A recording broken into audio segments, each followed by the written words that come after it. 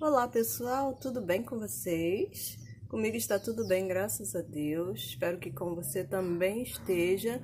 Me chamo Leila Barros, para quem não me conhece. Você está no canal Varanda Verde, seja muito bem-vindo. Há um tempinho atrás eu fui convidada para estar fazendo um desafio com o título Qual o meu maior obstáculo no cultivo das suculentas? Esse, esse desafio foi criado pelo canal Flora Encantada e foi passado a mim pela Cíntia do canal Suculindas. Então eu tô aqui hoje para falar um pouquinho sobre esse meu obstáculo, né? Eu tenho visto muita gente falando que o maior obstáculo são colchonilhas, né, pulgões, pragas, enfim. Mas, assim, para mim eu não vejo isso como um obstáculo, porque um obstáculo, né, na minha opinião, é algo que não pode ser ultrapassado. E com relação a, a pragas, cochonilhas, pulgões, isso aí eu consigo ultrapassar, né? Através de defensivos, através de cuidados, eu consigo. Mas tem algo para mim que realmente é um obstáculo porque eu não consigo ultrapassar. E esse meu obstáculo, olha que lindo, gente, que tá esse nos Balmerianos. O que eu não consigo ultrapassar no momento é realmente a minha falta de espaço. Como vocês sabem, eu cultivo suculentas na minha varanda né? Tá aí o nome varanda verde. O verde é, é com relação às plantinhas. E aí eu cultivo na, na minha varanda e o meu espaço é bem limitado. Então, o meu maior obstáculo é esse. Por quê? É, eu gosto de todo tipo de planta. E aí eu já tive que me desfazer de várias outras plantinhas para dar espaço para as suculentas, né, que é a minha paixão maior. Então eu fui me desfazendo de, de várias outras. Hoje a maioria das que eu tenho aqui é, são suculentas. Mas aí eu tenho bastante repetida e pelo, pelo andar da carruagem eu tô vendo que eu vou ter que me desfazer também de algumas repetidas para poder dar espaço a outras, né? Porque quanto mais a gente tem, mais a gente quer e é um vício, vício, né?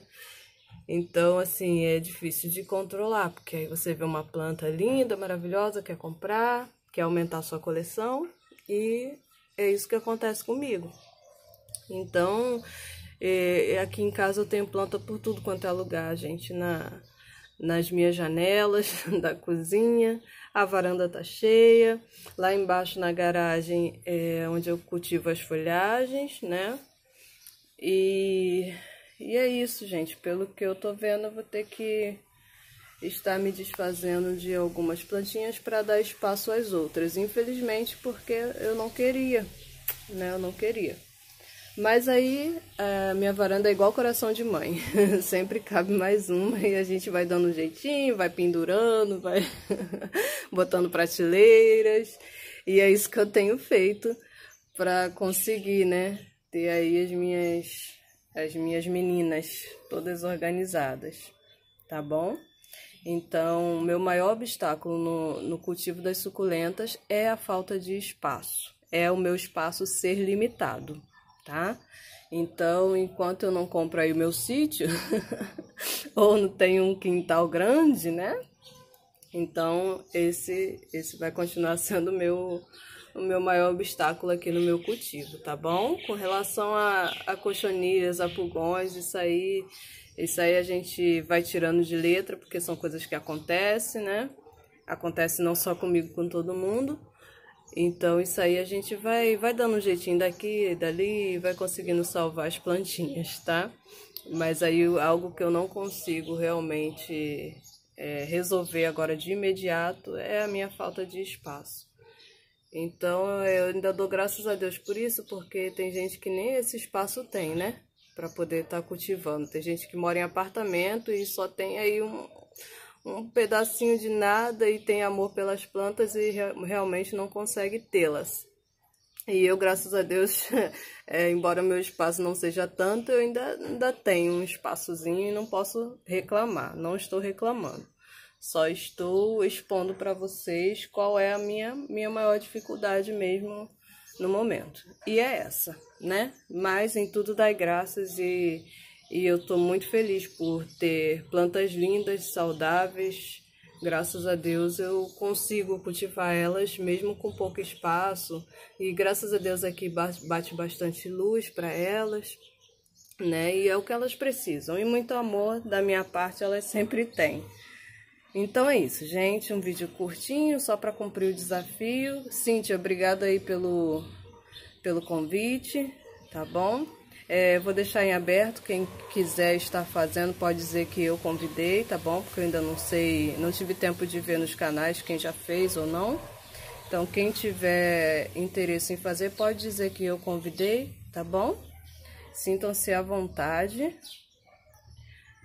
Esse foi o vídeo de hoje. Tô mostrando aqui algumas, algumas belezuras que eu separei para estar tá filmando esse desafio. Esse foi o vídeo de hoje. Muito obrigada por você que está aqui comigo, você que curte, comenta, compartilha. Muito obrigada pela atenção de vocês, pelo carinho comigo, pelas palavras incentivadoras, pelas palavras bonitas aí nos comentários. Eu amo ler comentários. Muito obrigada por cada um de vocês, gente. Vocês moram no meu coração, tá? É, um beijo para vocês. Fiquem com Deus e até o próximo vídeo. Ciao!